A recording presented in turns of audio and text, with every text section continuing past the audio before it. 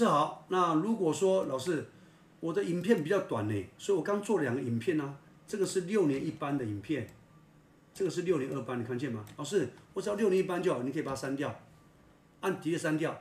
那整个影片多长呢？我们拉到底，影片到这里来看一下，我点到声音哦，点到声音再拖移到最后面，我们整个音乐的长度是四分二十秒二十八个，这个要记起来。那接下来点着它，我可以把这个影片呢变慢，把它变成四分二十八秒二十二格。来，再点一下声音，我们要调整了，四分二十秒二十八格，点了它。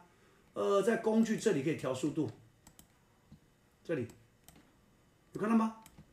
那点工具的视讯调整，视讯调整，我可以把这里改一下，就是在这里输入零四四分二十秒二十八格，Enter，确定哦。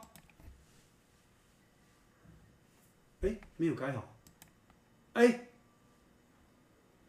跑掉了，字幕跑掉不行，来这里要改一下。改什么呢？往上拉，老师看一下这个上面那个字幕的地方，我一开始就应该要改的了。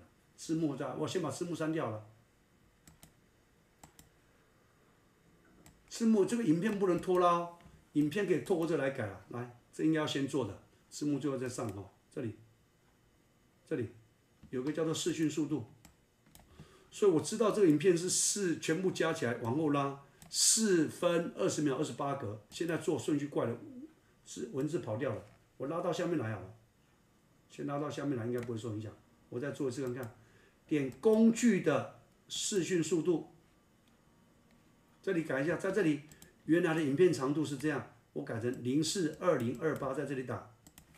零四二零二八，按确定，我看一下会不会受影响，等它一下。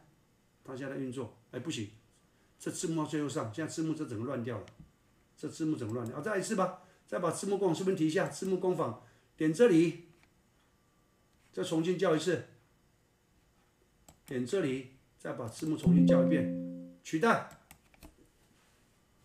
再来一次，这样就好了，搞定了。所以呢，我就练一百版面了。所以在这里呢，你看一下视讯速度，也就是说。如果你今天是拍的新娘的婚纱照，我可以把影片时间变慢。那有时候如果在拍上学画面呢，可以把早上拍小朋友上学画面，把这个人速度变快，那这小朋友嘟嘟嘟嘟，非常有趣。画面有时候有快有慢，就很有张力啊。这是在这个地方。